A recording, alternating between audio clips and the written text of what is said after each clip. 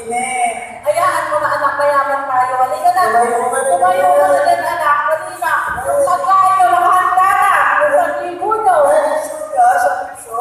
Oo. At parang ina pang napulang sa akin. Ay, talagang ganyan. Pasipag kasi yan, kaya ganyan.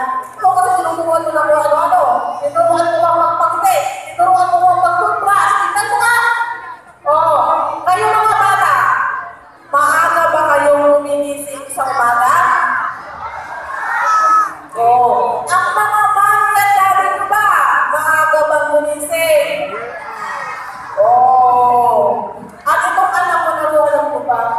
bakit nagkagalito ang hindi niya?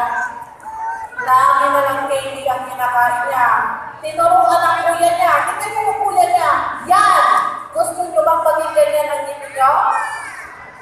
Nay, makababa naman tayo, di ba? Kung alam mo anak, magkamukha tayo. Mas okay lang ng konti sa'yo. Parehas kayo ng bulok.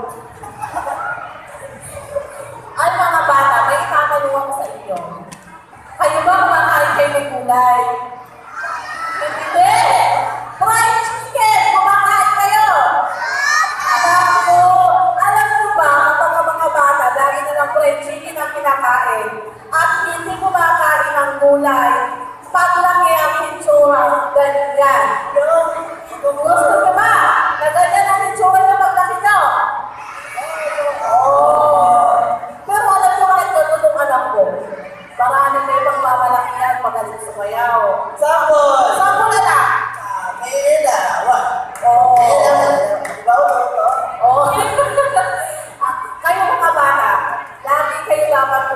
Ng gulay.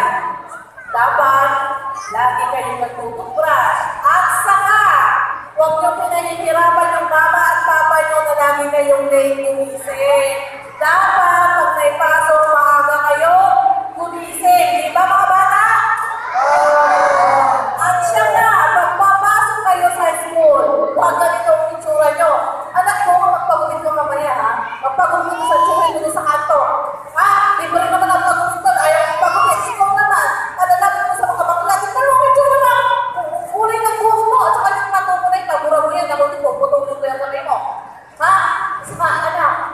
apostei seu pai.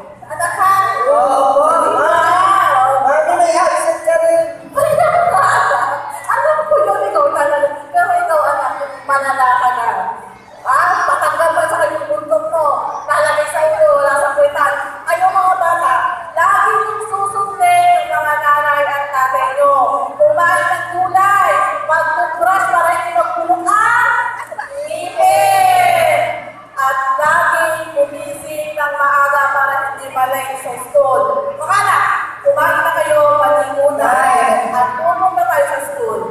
Ano ba ang ulan natin na? Ang may nilagang itlog, ang palaya, sitaw, yan ang mga dapat mong pinakain. Ulan!